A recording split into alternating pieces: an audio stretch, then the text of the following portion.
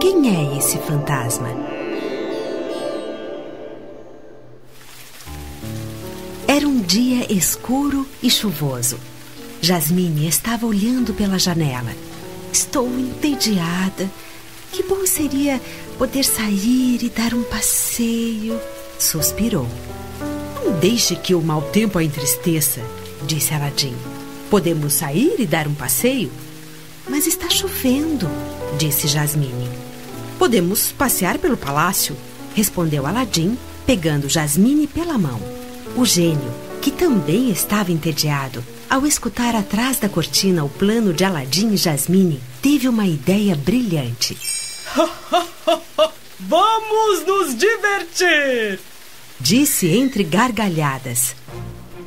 Aladim e Jasmine iniciaram um passeio pelo palácio. O vento começou a uivar lá fora. Jasmine dava um pulo cada vez que ecoava o som de um trovão e um relâmpago iluminava o céu. Abu, seu macaquinho de estimação, chegou correndo de outro aposento e pulou no ombro de Aladim. É apenas uma tempestade, tranquilizou Aladim. Estamos a salvo dentro do palácio. Aladim levou Jasmine por um atalho.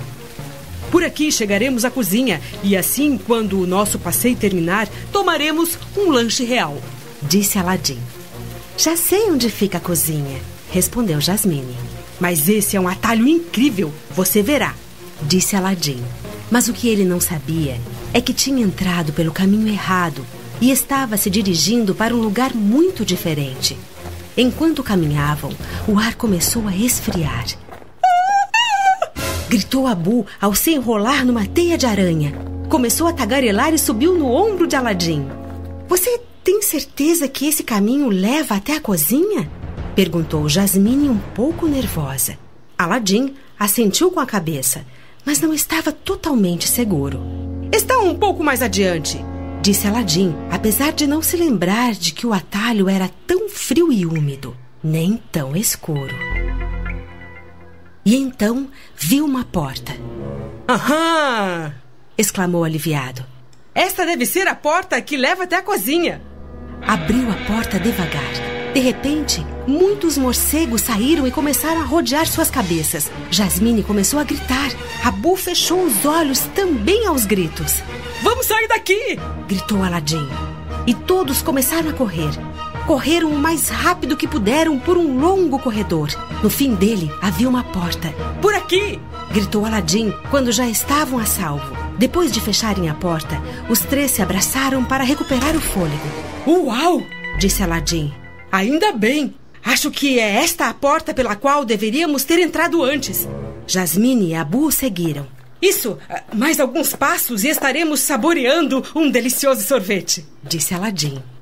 Mas esses alguns passos só os levaram a um dos lugares mais escuros, frios e tenebrosos em que estiveram em suas vidas a masmorra. Todos olharam ao redor com nervosismo.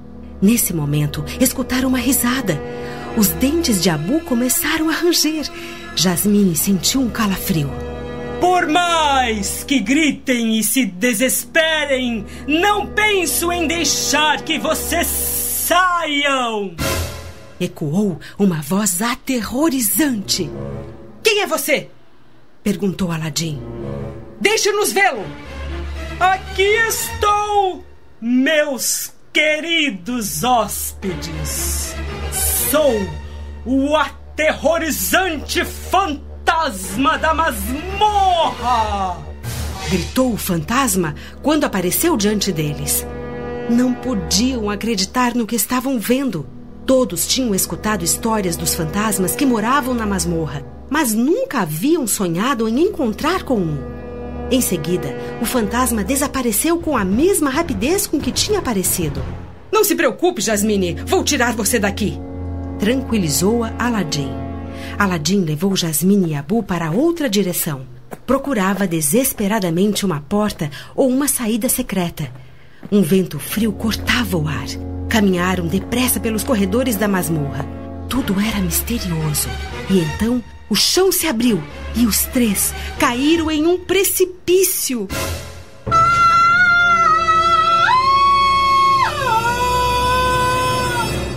Gritaram Aladim, Jasmine e Abu fazendo uma dura aterrissagem. De repente, o fantasma voltou a aparecer. Fizeram boa viagem? Perguntou com um sorriso. Aladim e Jasmine se entreolharam. Aquele fantasma começava a lhes recordar alguém que conheciam e decidiram averiguar quem era. não o conhecemos? indagou Aladim. Vocês já vão saber! Respondeu o fantasma com gargalhadas.